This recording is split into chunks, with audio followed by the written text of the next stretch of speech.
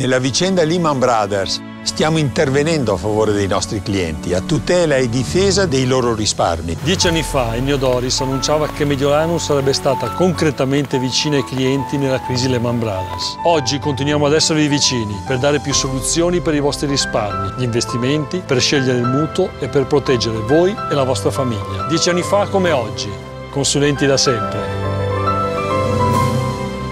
Banca Mediolanum, costruite intorno a te. Dai forma al tuo trading. 15.000 mercati anche azioni. Piattaforme e tecnologia ai massimi livelli. Team italiano con sede a Milano. IG, tutto quello che ti serve per dar forma al tuo trading. Apri un conto su ig.com. Questo programma è offerto dal gruppo Banco Desio. Bentornati su Blu Reti News, vediamo insieme le principali notizie della giornata. Manovra, il governo cerca l'accordo su pensioni e reddito. Risparmio gestito, gli europei giocano in difesa. Bitcoin adesso è crisi nera. Brexit a ogni inglese costerà 1000 sterline. Banca, il Credit Suisse rafforza l'Italia. È partito l'IT-Forum a Milano. Non è questione di decimali, è il messaggio che è arrivato dal governo Conte che si è detto disponibile a una limatura di qualche decimo di punto sulle previsioni di deficit, se ciò dovesse servire a evitare la procedura di infrazione per disavanzo eccessivo prevista dalle regole europee.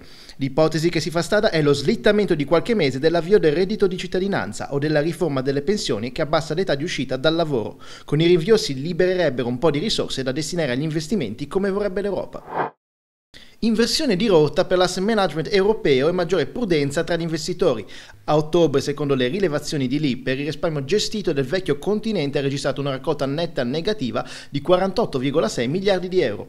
Ma il dato più significativo è che i fondi monetari, che hanno un profilo di rischio basso, hanno registrato una raccolta netta positiva per 44,2 miliardi di euro. Questo trend ha riguardato anche gli ETF che investono in liquidità, che hanno raccolto positivamente per circa 500 milioni di euro. Gli investitori risparmiatori europei, insomma, giocano in difesa.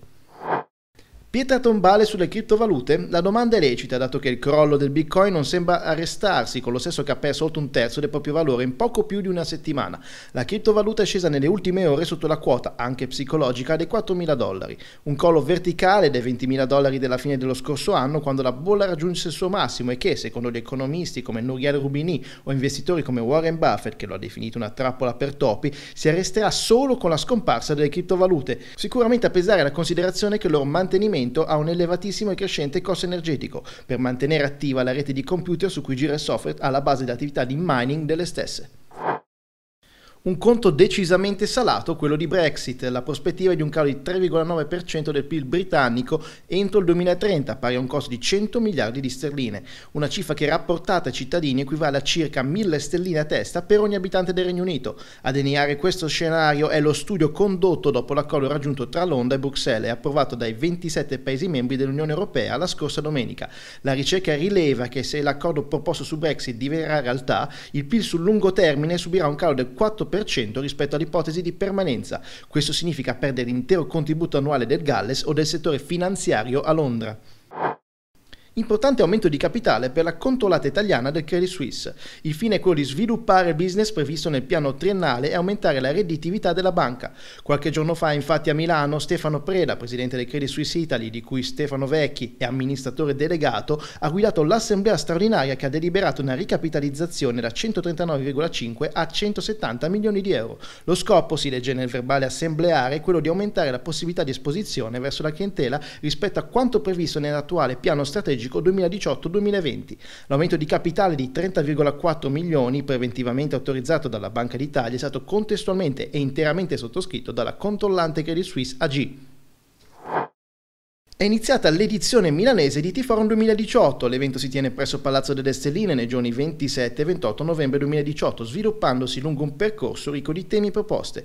Un evento poliedico dedicato oltre che al trading anche agli investimenti, alla consulenza finanziaria, alla formazione al fintech. Nella due giorni molte le conferenze e workshop in programma dalle sei aree tematiche che caratterizzano la manifestazione. Arrivata alla ventesima edizione, tra gli appuntamenti più attesi c'è sicuramente la premiazione dei Blue Rating Awards in programma il 28 novembre, condotta da Marco Muffato, coordinatore di Blue Rating, si aprirà con la tavola rotonda delle 14.30 per poi proseguire con la vera e propria cerimonia delle 16.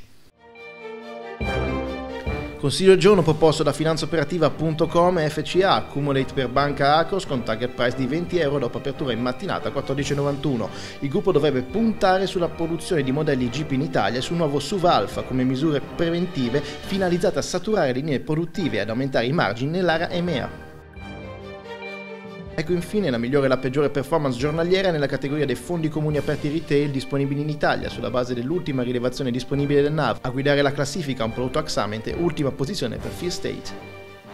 Qui da Blu Rating News è tutto, come sempre un buon investimento a tutti quanti voi.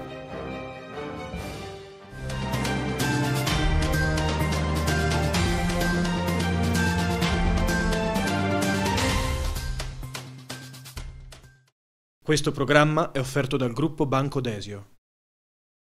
Consulenti finanziari? Siete pronti? Parte l'albo. Aggiornamento, contabilità, contrattualistica, gestione portafoglio.